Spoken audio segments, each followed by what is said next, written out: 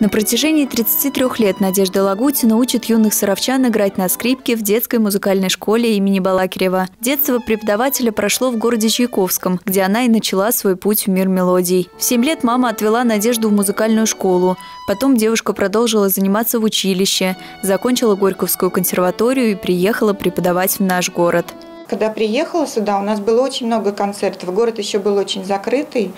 И исполнителей со стороны сюда, в общем-то, редко приезжали. И вот первые концерты, которые я здесь увидела, услышала и сама в них участвовала, это были люди, которые работали как раз в музыкальной школе.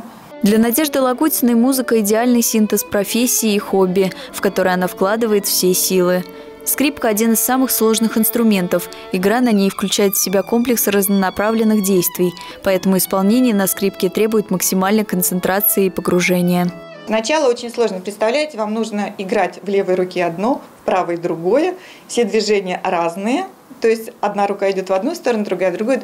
Еще ухом надо слушать, чтобы у вас была чистая нота, потому что у нас же не фиксированный строй на скрипке, то есть вы это все пальцами должны ощущать. По мнению педагога, занятие музыкой – отличная адаптация ребенка к окружающему миру. На занятиях преподаватель помогает ученику раскрыться, найти свою индивидуальность, развить умственные и даже физические возможности развивается мелкая моторика, развиваются вот все центры мозговые, языковые, развивается структурное мышление, потом развивается пространственное видение. Мы же ну, не только учим, вот как тебе нужно поставить пальчик, или как вот здесь вот поведешь смычок, да, Самое главное, чему мы учим детей, это мы учим выражать свои эмоции через музыку. Ученики Надежды Лагутиной часто становятся лауреатами конкурсов и фестивалей. Предела совершенству нет. Юным музыкантам необходимо ежедневно развиваться, отрабатывать навык игры, расширять свое воображение, учиться чувствовать инструмент.